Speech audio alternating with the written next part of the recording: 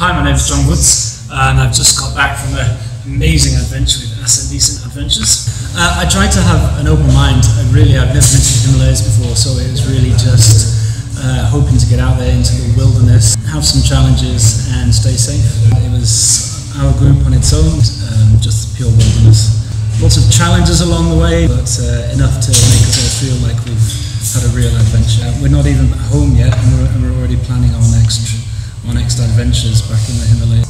Wanting to learn rock climbing now and go do some peaks.